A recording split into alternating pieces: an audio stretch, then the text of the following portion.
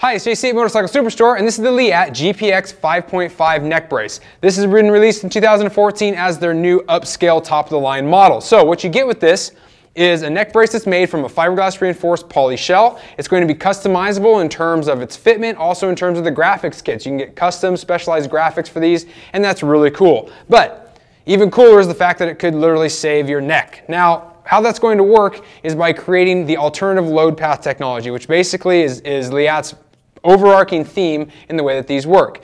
It's changing the load from being centered on your spine and your neck to dispersing that over the entire area of the brace and then onto your body. So that's the concept, but it only works if the braces fit correctly. Now, one of the things about the GPX is that it's got really good adjustability.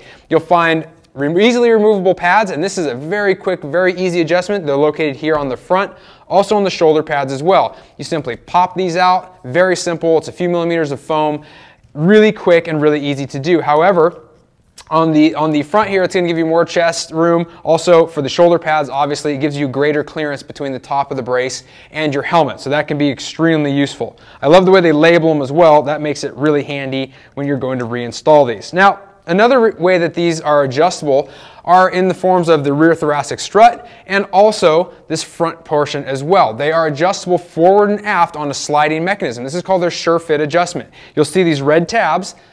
You simply pop them loose and they're in there pretty good. And then this entire component will slide forward or back. So you can really fine tune the adjustment. You'll be able to see down in here, there's all kinds of these little divots, little micrometers that you can actually clip in, get it dialed to exactly where you need it to be. Once it's fitting properly, then it will do its job properly. Now, since we're back here, this is that split design thoracic strut we're talking about. Obviously, it's designed to break away in certain types of crashes. It has engineered weak points so that it will not cause greater injury than it's supposed to. It'll actually break away. Now, one of the cool things about it has these little adapters up top and it comes in four different increments. You have a 0, 5, 10, or 15 degree increment and that's basically how much this is going to bend. So you can actually adjust it, give you a little bit better fit, get this thing right where it needs to be.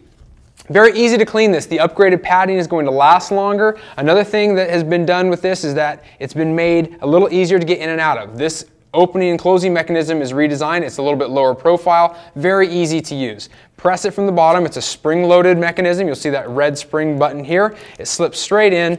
Nice thing about this is that it can be put with or without your helmet on. So it's very easy to take this on and off. It doesn't matter, you don't have to do it in a specific order. So it's easy to wear and it's easy to clean, but also you'll notice the adjustment straps here. These are very simple to attach and then adjust. It uses a three prong clip. So getting in and out of the brace is very, very simple. You'll find all the sizing and, and fitment information at motorcyclesuperstore.com. See if it's right for you. Different colors available, and like we mentioned, those custom graphics, those are available as well. Thanks for watching. Leave me some comments on the new 5.5 and subscribe to us on YouTube for more product videos.